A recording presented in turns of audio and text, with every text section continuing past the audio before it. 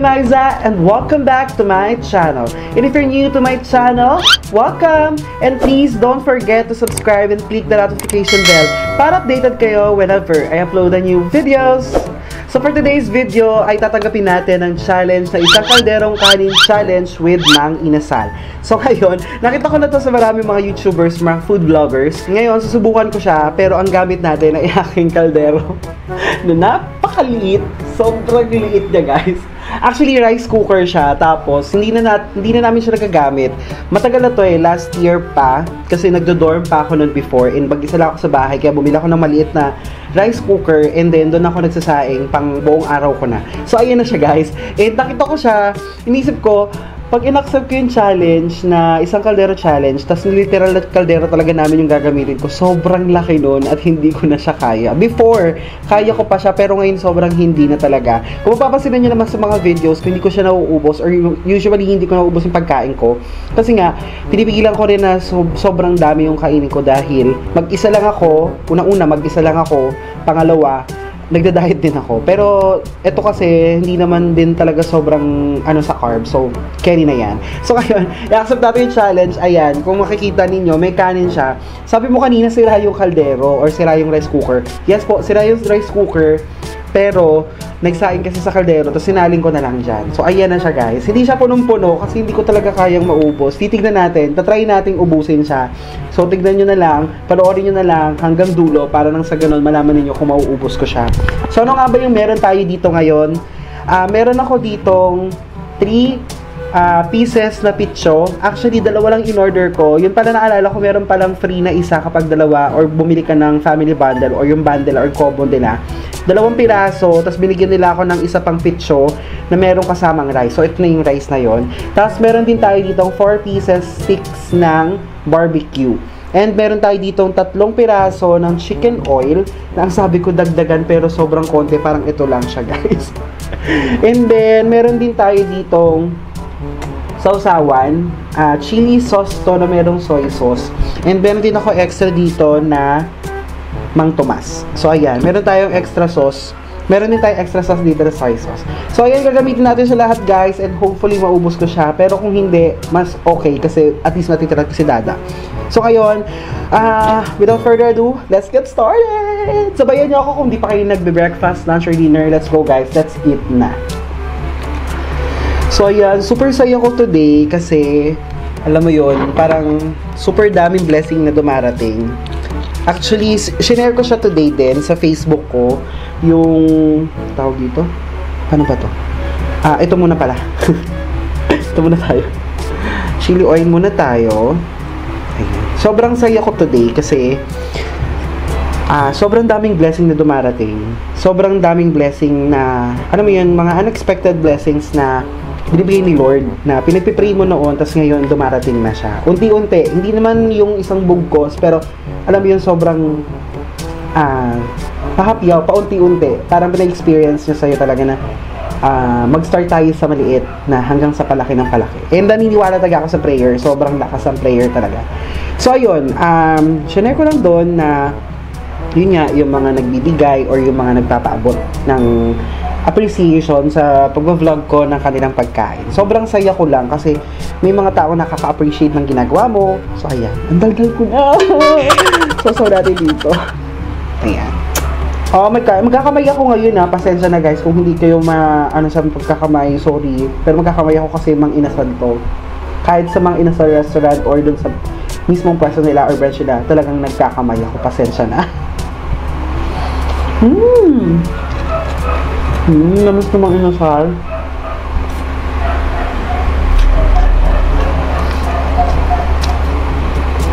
So, ayun na nga. Sinare ko doon yung mga taong nagpaabot ng appreciation. Tapos, na-mention ba ako ni Jamie Cruz sa No! Na-mention ako sa Instagram. Sobrang saya ko. Thank you so much, Miss Jamie Cruz, sa pag-mention sobrang sobrang saya ko na noon. Kahit ganung bagay lang sobrang saya ko na. Kasi malit ako na YouTuber. Nagsisimula pa lang ako pero alam mo yun sobrang saya ko lang. So yun na kain lang tayo guys. Mm.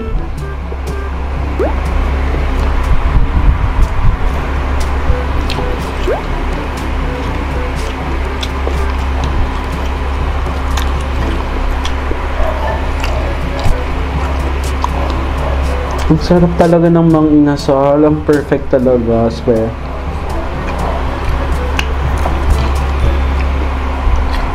Hmm.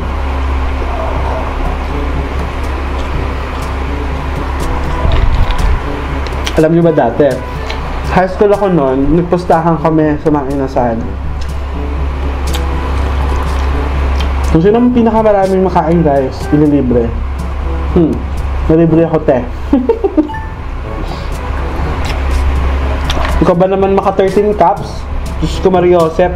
Ngayon hindi ko na kaya, hindi ko na kaya yan. Ito nga parang nagdalawang isip ako sa kaldero na to.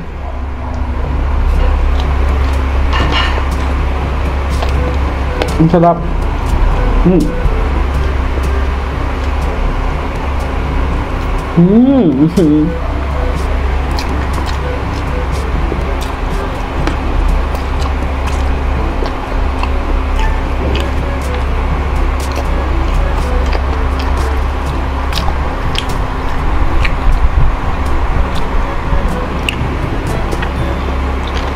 Sarap talaga magkamay, lalo pag wang inasal.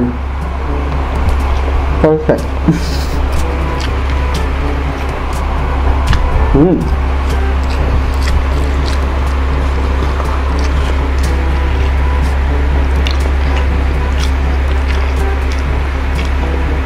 Siyempre, tinitingnan natin, di ba? Tingnan natin kung matatalo ba natin si Mr. Jeffoy Tuason, si sino pa ba? Si Chrissy, sino pa ba? Si Ryan's Life. Yung mga napapanood kong mga YouTuber din or vlogger. Oh my God! Laki-laki talaga ng manok ng mang inasal. Sobra. Hmm.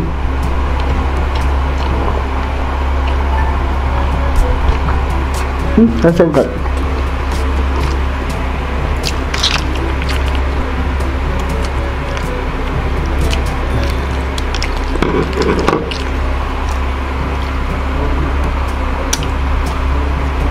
Alam mo, sarap ng toyo ng mang inasal. Kasi medyo manamis-namis siya. Tapos, basta may something sa toyo nila. Sarap. Hmm.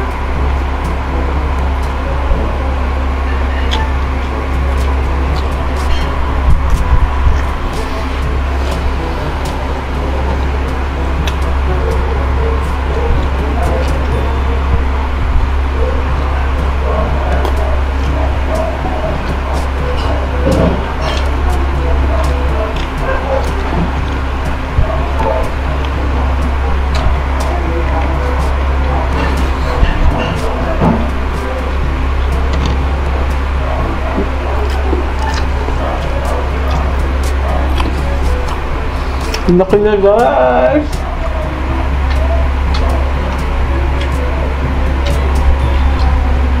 Wala mo na! Dali na! Niyakapay ko naman na! Mayroon ka ng dalawa dito. Sige na. my God, ang sarap.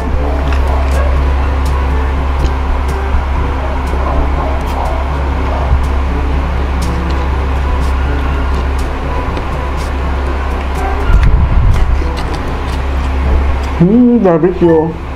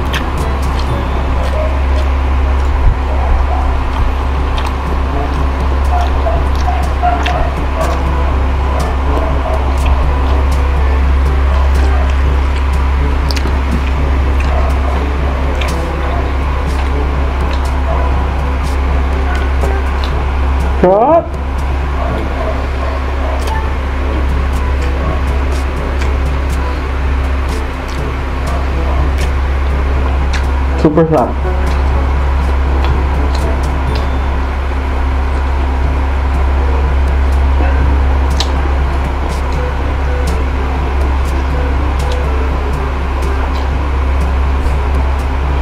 Mmm.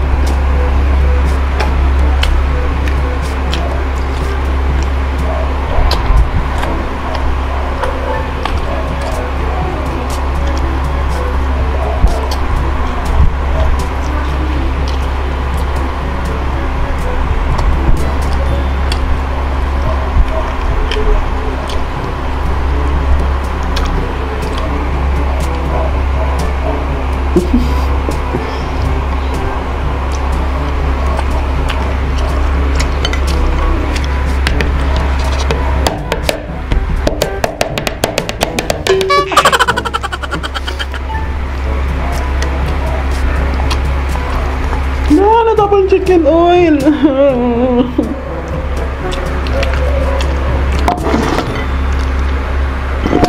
Tatabi na natin siya guys. Kasi wala na siyang laman. Wala na laman! Tatabi na muna natin siya. Kakainis na mo, wala na akong chicken oil. Alam mo, favorite ko talaga sa mga inasal yung chicken oil. Hindi pwedeng mawawala to. Pag mang inasal ang usapan, kailangan may chicken oil. Kasi kung wala, wala. Hindi, walang kwenta mang inasal. Sana? Walang kwenta talaga yung mang inasal kapag ka walang chicken oil, guys. Do you agree? Comment down below kung agree ka.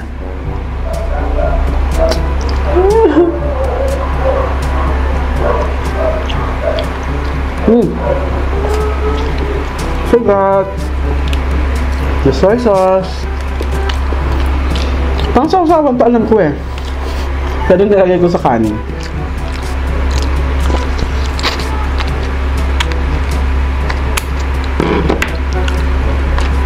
Kasi itong soy sauce na to, kahit nasa mang inasal ako, talagang sinasabaw ko siya kasi hahalo ko siya sa chicken oil kasi ang sarap niyang paghaluin. Ah, sarap! Malaman, manamis na mis na may, ma- may parang kalamansi na ewan. Ang sarap talaga. Swear. Hindi ko na nagamit yung ah, mang Tomas.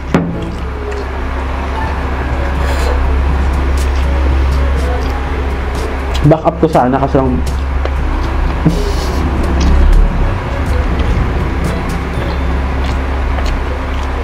Sarap. Hmm.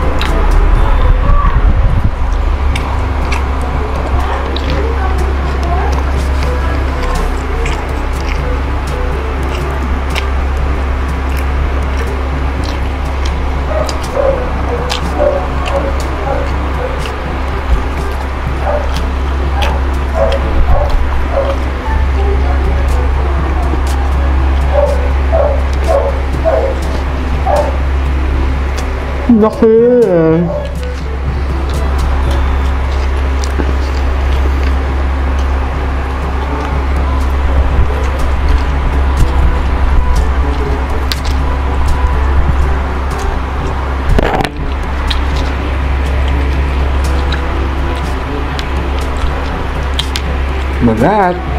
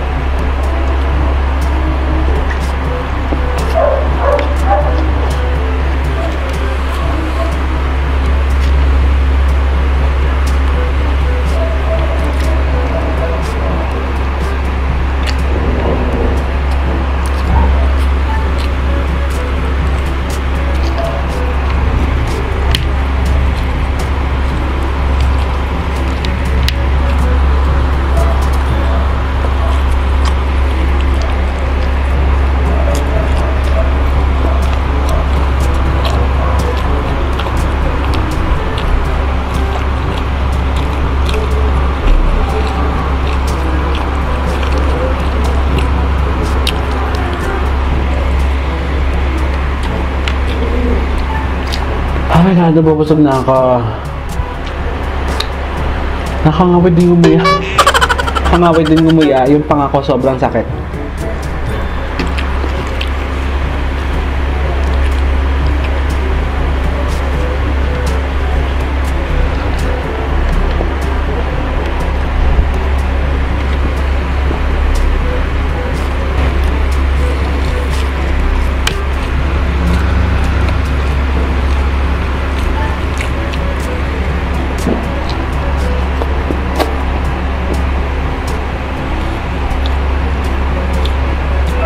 So, ayan, konti na lang. Parang siguro mga dalawang subo na lang to. Pero medyo busog na ako. Medyo pa. Pero busog na busog na talaga ako.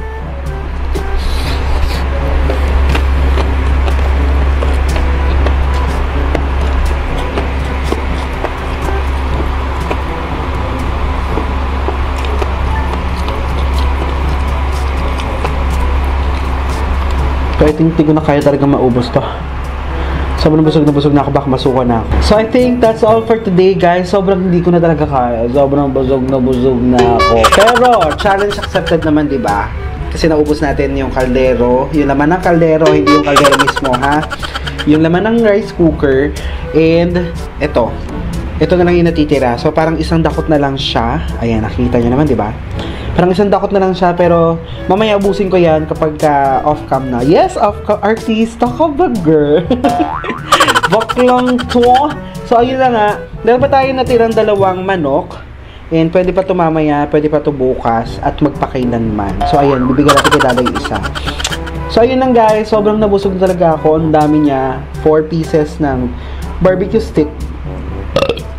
Ah! And itong dalawang manok. Kasi lang yung nakain natin kasi sobrang laki niya guys.